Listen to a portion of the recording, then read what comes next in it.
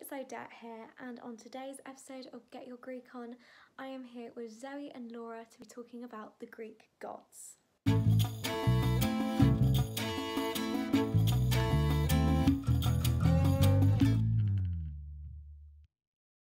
Today we're going to be talking about something very exciting. We're going to be talking about the Greek gods. Obviously, when we spoke to Ellen on her first episode, we discussed the wonderful god of theatre with girls, who is the Greek god of theatre. Dionysus. Top Zoe. Woo! A lot of plays and things and stuff like that were there to honor him. But gods were often omnipresent in theatre. Basically, they were always there in terms of in the character's thought, with what they said, with what the chorus said. That kind of made them powerful in a way because they didn't necessarily always have to be on stage to have that presence. They or they also represented something called the divine law. It literally just means that they kind of had like the overruling view. What was the purpose of the Greek gods? Well, the Greek gods were basically there to provide moral lessons kind of just brought about culture and tradition. Greek gods were kind of seen as very different to how we know like a main god to be in other religions. They were like humans. They had thoughts and feelings, they had impulses. They weren't perfect. Greek gods weren't completely powerful either. They had to obey fate as well. Is known in Greek mythology as I'm probably going to butcher how I say this, the Moirai, which basically are the three ladies with the string and the scissors. I don't know if you remember that from anything. That's in Hercules, isn't it? Yeah. Yeah, yeah. now, before we get started, where we talk about all of the gods, we're going to be talking about 12 of them today. If we were to talk about every single god, we'd probably be here all year. They believed that there were gods of the earth, the sky, the winds, the fire, you know, earth, wind, and fire.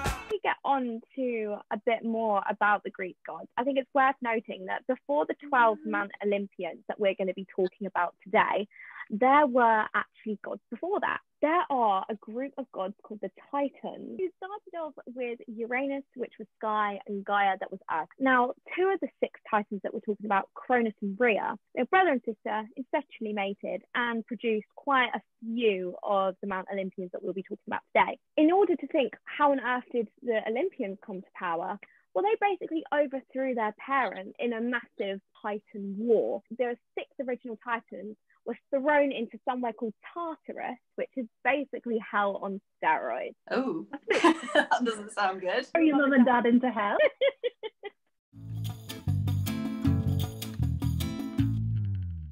So the 12 gods lived on Mount Olympus, and we will be beginning with the king of the gods, that is Zeus. So Zeus was king of the gods. He was kind of like the judge. He ruled over the heavens. He decided a lot of the things. But as well as sort of being the king of the gods, do you know what else he actually controlled? Is it something to do with the weather? I mean, he's always pictured with a thunderbolt, and I feel like if you upset him, he would cause a storm. Yep, you're right, basically. Yeah. He did. He controlled the weather. And also, was it uh, law and order? He was indeed. He basically was like the main judge, as he was kind of leader of the gods. If anyone had any problems, they went to Zeus and Zeus sorted it all out for them. Mm. And he was married to his sister, who is known as Hera.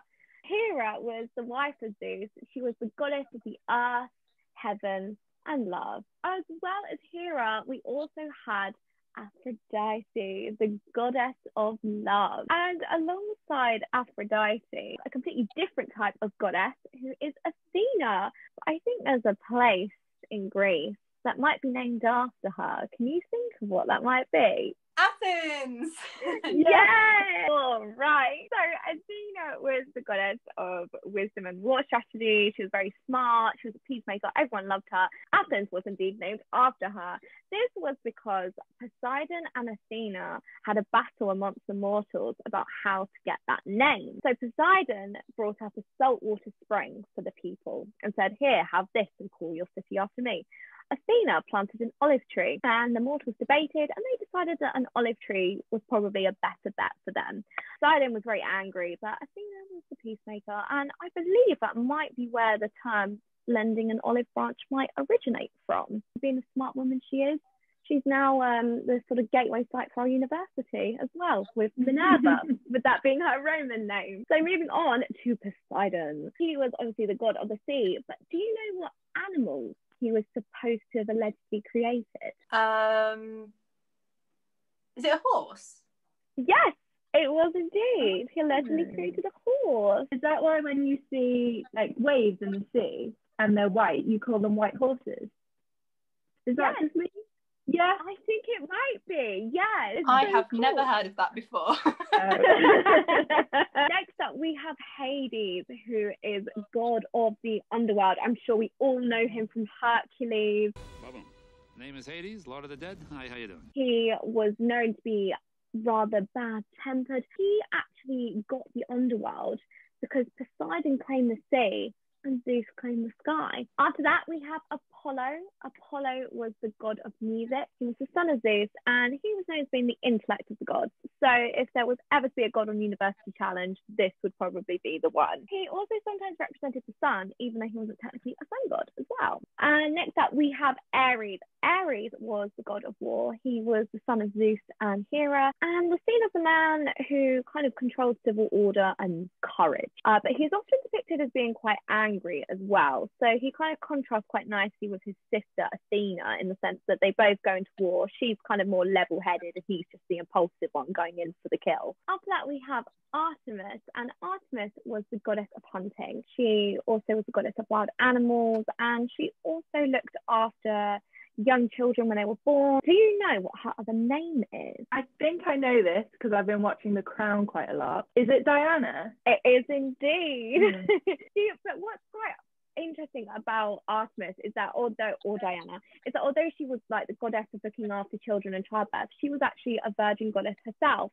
So she was kind of like the mother nature of the world. That's kind of the way a lot of people saw her. Next up, we have Demeter. Demeter was goddess of the nurturing spirit and the harvest. And I mean, if we're going to talk about veganism here, I would definitely say as a god, she would be the vegan one.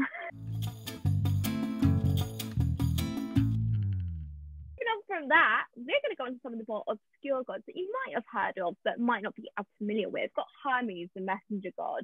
He's got very cool shoes. So when you all kind of think about your parcel delivery, um, you know, we've Mm. got CPG, you got Royal Mail, you got Hermes. Do you know what else he actually invented? Could be something to do with travel. He he kind of created roads which were associated with travel. But he mm. also created some really random things. He invented the lyre, the pipes, the musical scale, astronomy, weight measures, boxing, gymnastics, and the care of olive trees. Going back to those olives again. Classic Greeks. He was a busy boy. And after this, we have Hephaestus. Now, Hephaestus was god of fire. He was a handyman. He was a bit of a blacksmith. But he also was kind of seen as a bit of a loser and got the nickname the lame god. So do you know how he actually got that nickname? Was he really uncool? Not quite. Did he have something wrong with his leg? Is it something to do with that? it actually is. Oh.